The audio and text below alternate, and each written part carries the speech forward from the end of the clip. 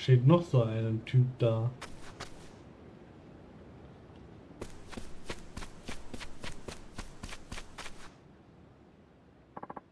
Verdammt, schon wieder verloren. Jetzt bin ich blank. Was? Willst du dich auch ruinieren? Hier läuft allerhand. Sogar Poker. Das ist so ein Kartenspiel aus dem Ausland. Aber pass auf, dass du nicht alles verspielst, so wie ich.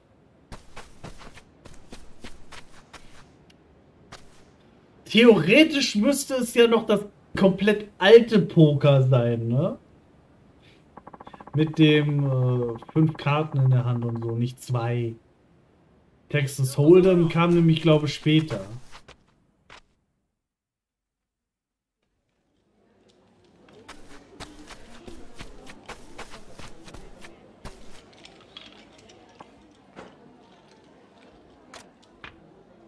Aber hier kann man trotzdem Texas Hold'em spielen. Na, vielleicht gibt es das auch schon seit damals, wer weiß. Ich habe da keine Ahnung, aber ich kenne das halt so, dass das im Wilden Westen immer gespielt wird mit fünf Karten oder so auf der Hand.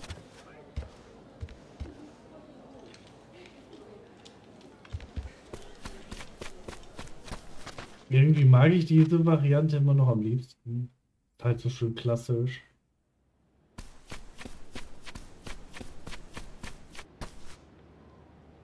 Dieses Texas Hold'em ist halt so, als würde man sein halbes Blatt zeigen.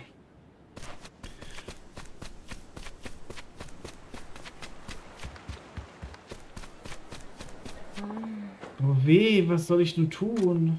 Oh, die Okami des Shikokuya. Du siehst erdrückt aus, stimmt etwas nicht? Was ist denn eine respektvolle Bezeichnung für eine Frau, die ihr eigenes Geschäft führt? Ah.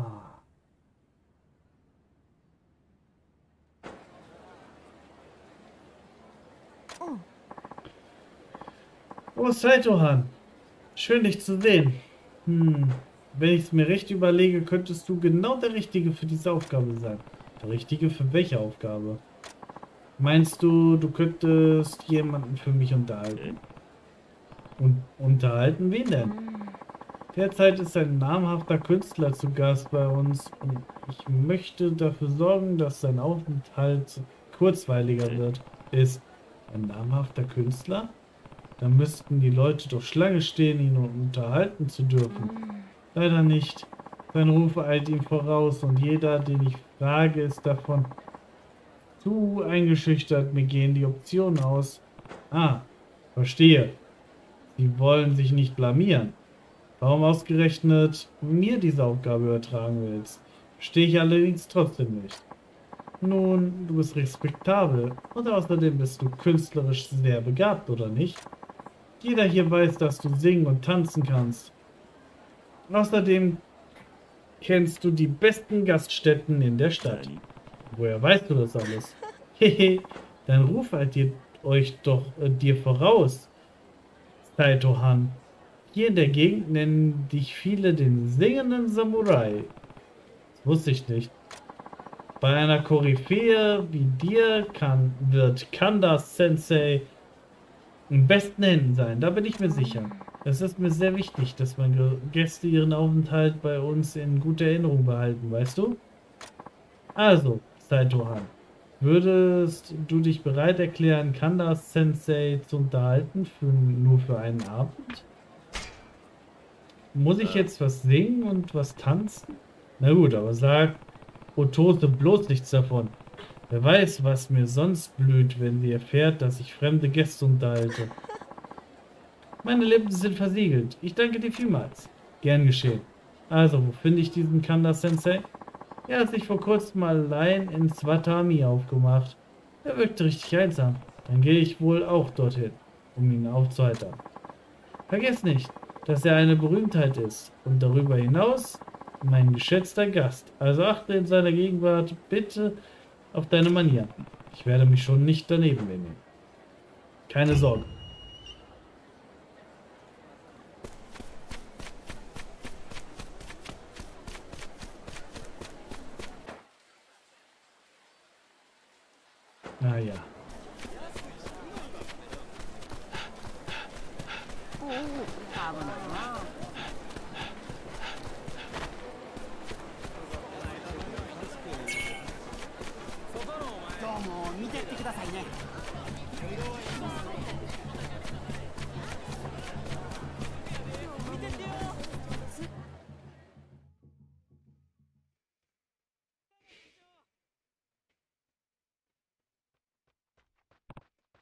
Mist. Vielleicht hätte ich fragen sollen, wie dieser Kanda Sensei aussieht. Ja. Hä, du, da, junger Mann. Ich? Was gibt es? Hast du Lust, mit mir zu trinken? Du willst mit mir trinken? Sehr gern sogar. Ich bin von weit her nach Kyo gereist. Nun sitze ich hier ganz allein. Na los, leiste einem alten Mann etwas Gesellschaft. Ich lehne nur ungern ab, aber ich bin mit jemandem verabredet. Wobei, sagtest du gerade, dass du von weit her gereist bist? Könnte es sein... Hm? Ich verstehe. Die gute Okami hat dich zu mir geschickt, was? Die Frauen in Kyo sind wirklich aufmerksam. Ich bin beeindruckt. Zugegeben, auf den ersten Blick hätte ich nicht gedacht, den berühmten Kanda-Sensei vor mir zu haben. Ach, lass die Förmlichkeiten mit Sensei und all dem Pferdefanz. Nenn mich einfach Kanda. Aber berühmt bin ich in der Tat. Hahaha. ich hatte ihn mir einschüchternder vorgestellt, aber er ist nur ein freundlicher alter Mann. Wo wir schon dabei sind, was für eine Art Künstler bist du, Kanda? Es gibt schließlich viele Arten von Kunst. Oh, dir ist mein Lebenswerk nicht bekannt? Nun, ich bin Meister jeder Kunstform auf Erden. Wirklich? Malerei, Töpferei, Theater, Musik, Gesang und sogar Tanz. Ich hatte sie alle schon gemeistert. Da war ich gerade erst 30. Das ist beeindruckend. Das kannst du laut sagen. Das wahr ist. Der Alte sehr viel beeindrucksvoller, als ich dachte. Hey, da fällt mir was ein. Gleich hier in der Stadt gibt es eine Schenke, in der man singen kann. Ah, die kenne ich. Ach was. Das hättest du doch gleich sagen können.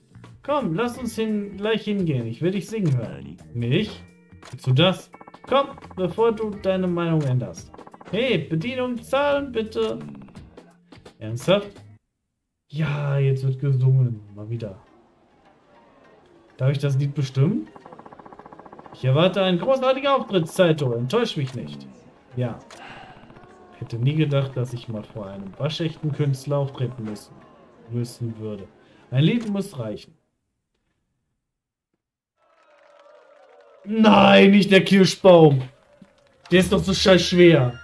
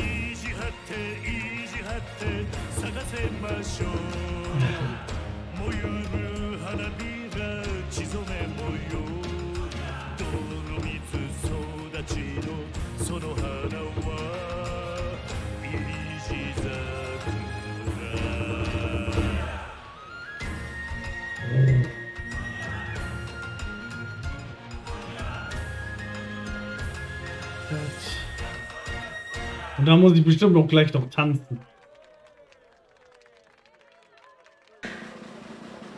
Das war auf jeden Fall schon mal besser als vorhin. Aber eine 90 hätte ich trotzdem... Ja. Puh, na gut, alter Mann. Bist du jetzt glücklich? Taito. Ich bin gerührt, ja, von tiefstem Herzen gerührt. Du hast die Stimme eines Engels. Meinst du das ernst? Nein, du bist sogar ein besserer Sänger als ich. Hier müssen die Frauen zu Füßen liegen, du Weiberheld. Schmiert mir gehörig Honig ums Maul. Schwer zu sagen, wer hier wen unterhält. Auf geht's! Noch ein Lied. Beglücke uns mit deiner Stimme, Zeitung. Ich soll noch mehr singen? Aber natürlich. Wer würde solchen Wohlklang nicht ein zweites Mal genießen wollen? Wenn du unbedingt willst. Puh. Ich krieg keinen Ton mehr raus. Was denn, Saito? Machst du etwa schon schlapp? Eieiei, was für einmal schlappen? ich fürchte, ich kann wirklich nicht mehr. Na gut, schon verstanden. Oh. Oho. Geht's dir gut? Die Inspiration hat mich getroffen wie ein Blitzschlag. Dein Gesang muss sie heraufbeschworen haben. Ehrlich? Mein Gesang? Oh ja. Ich kann spüren, die Essenz unverfälschter Schönheit strömt durch meinen Körper. Bring mir Papier und Pinsel, schnell. Na gut, die Essenz unverfälschter Schönheit können wir wohl schlecht verschwenden. Ich kümmere mich darum.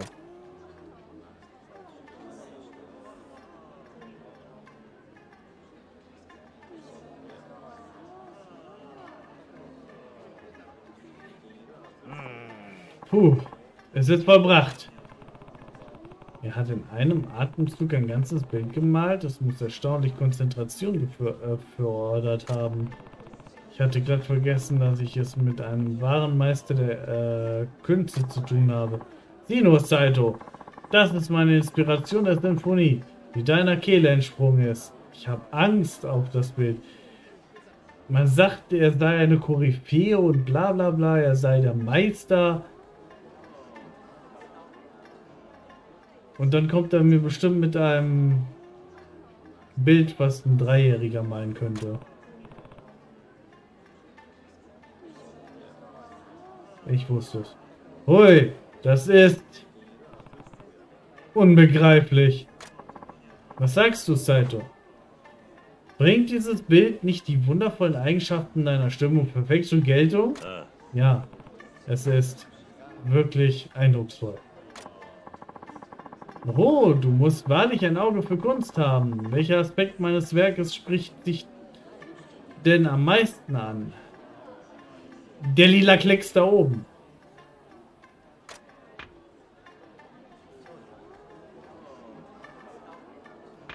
Es ist stark und maskulin.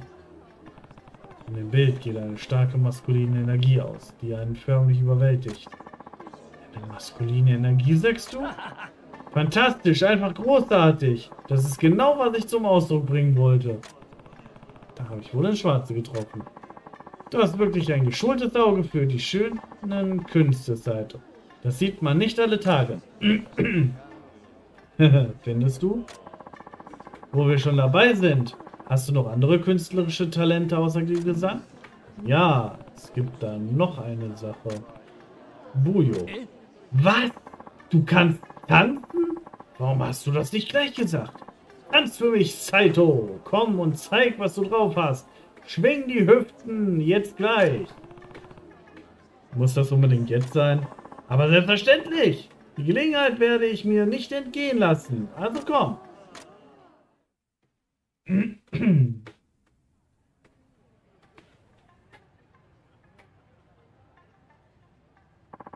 Bereit für eine Vorführung, Saito? Dann leg mal los. Wie gesagt, mach dich nicht über mich lustig. Ich wirklich vor diesem alten Mann tanzen? Nun, ich werde versuchen, das Beste daraus zu machen. Nihon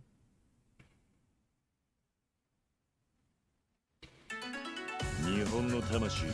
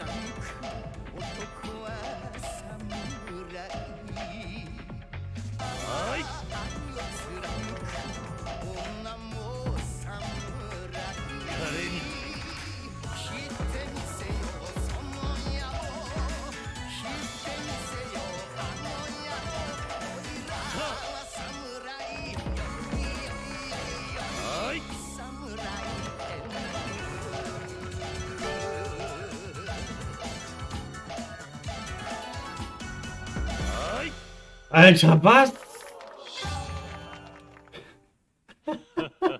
Alter, ich weiß schon, warum ich nicht den höchsten Schwierigkeitsgrad genommen habe beim, beim Tanzen eigentlich.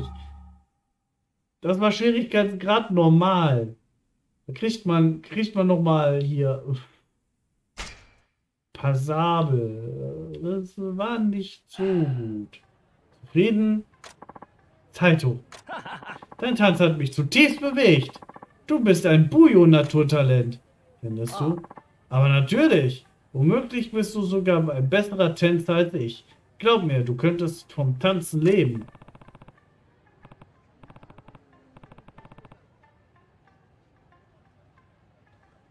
Er schmeichelt mir bloß, fast so, als wäre er hier, um mich zu unterhalten. Also dann, Zeit für den nächsten Tanz. Lass mich nicht warten, Saito. Was? Das hat dir noch nicht gereicht? Noch lange nicht. Bei deinem Talent wäre ich verrückt, mir die Gelegenheit zu entgehen, äh, entgehen zu lassen. Na schön. Puh, Tanzen ist ziemlich anstrengend. Das ist es wirklich. Haha, aber bist du tatsächlich schon erschöpft? Nur keine Müdigkeit vortäuschen, Saito. Ich bin am Ende meiner Kräfte. Schön, schön. Oh, oh. Was ist los?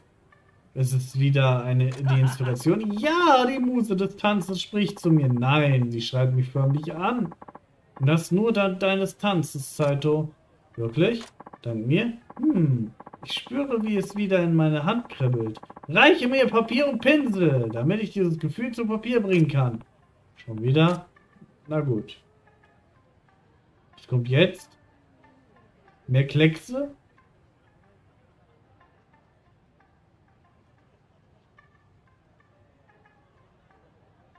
Komm. Zeig, was du gepinselt hast. Puh, fertig. Wieder hat er den Pinsel praktisch nicht abgesetzt. Echte Künstler sind aus einem ganz anderen Holz geschnitzt. Sieh her, Saito, dies ist meine Inspiration deines Tanzes im deines im Tanze wirbelnden Körpers. Ui, das ist... Soll ich das sein? Genauso verwirrend wie das letzte. Zu hoch für mich. Was sagst du, Saito? Habe ich mich nicht mal wieder selbst übertroffen? Das, äh, hast du wirklich... Aha, du erkennst also meine Vision. Sag mir, was von dem Bild bewegt dich.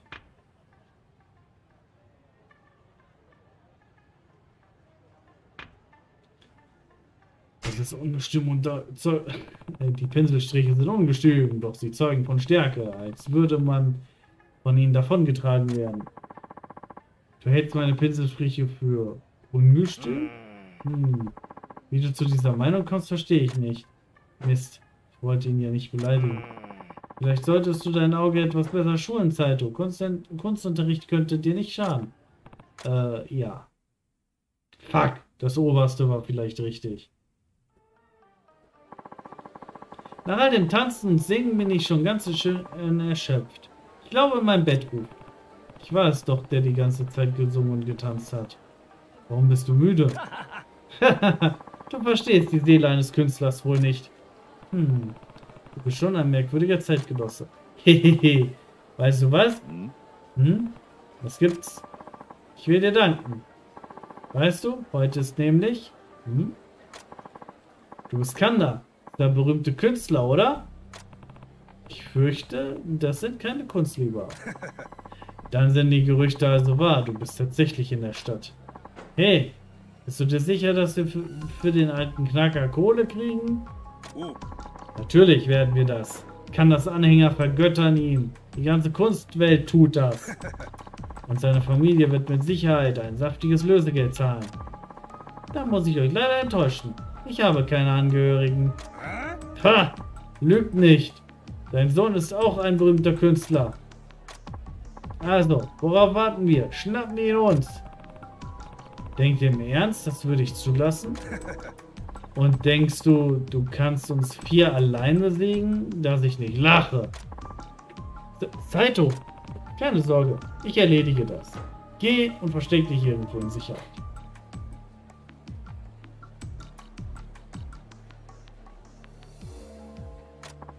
Bitte, stirb nicht. Egal was passiert, du darfst nicht sterben, Saito. Hm? Werde ich nicht. Das reicht jetzt. Auf ihn, Leute. Oha.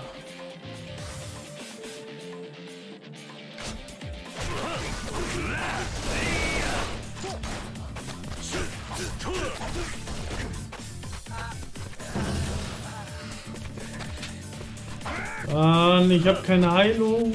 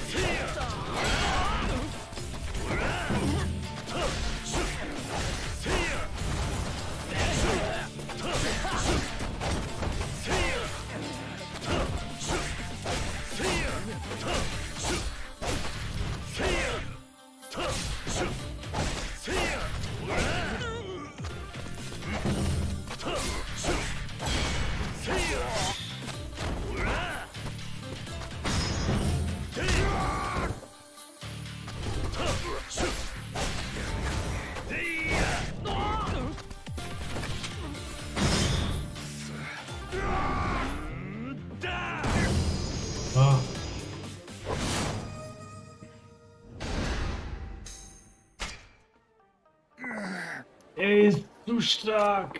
Geht es dir gut, Saito? Äh, Ja, ich bin hier fertig. Ich, ich bin ja so froh.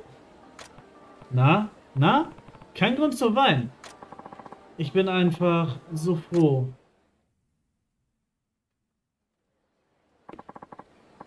Wie du gehört hast, hatte ich einen Sohn, äußerst talentierter Junge.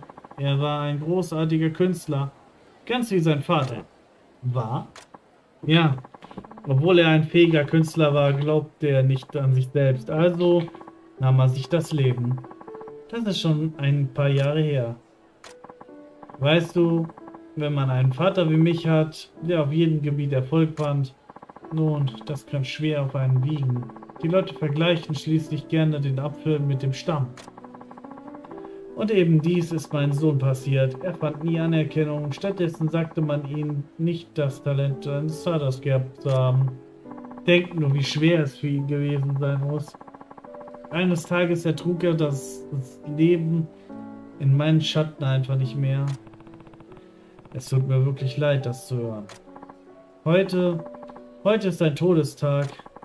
Deshalb wollte ich nicht allein in meinem Haus sein und kam hierher nach Kyo.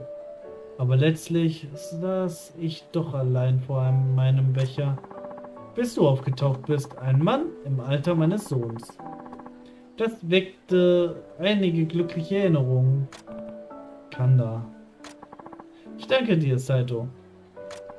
Ich hatte schon lange nicht mehr so viel Spaß gehabt.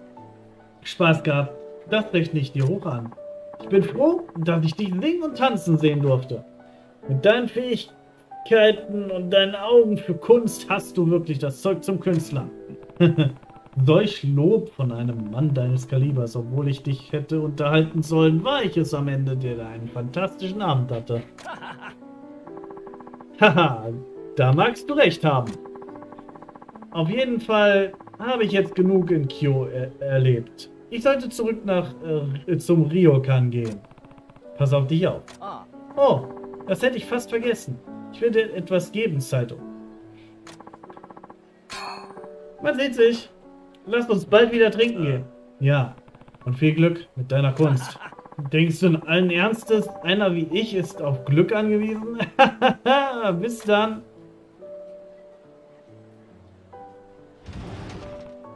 Scheint, als hätte er wirklich einen Heidenspaß gehabt.